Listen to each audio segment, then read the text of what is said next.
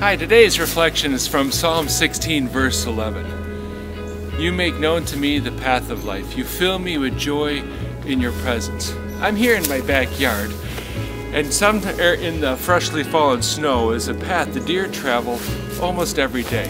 I've never asked them, but I assume that they're headed to their nightly resting spot. It's a path they travel no matter what the temperature is, so I assume they remember it, know it, and travel it because it's woven into their DNA. However, for me, it only takes a little snow for me to lose my way. We're entering the countdown of Christmas shopping, cooking, and all sorts of preparations. All of these preparations are part of the paths families travel to experience Christmas joy. However, the stress of it can cover the path and leave us lost. People are reaching their stress limits. They may actually be losing their way. We can help people find the path of life and look for opportunities to scatter joy.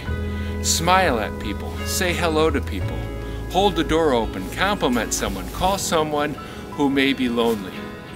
You might be the encounter with God some frustrated, restless heart is yearning to find, and it may help them to remember the path of life is filled with joy in your presence.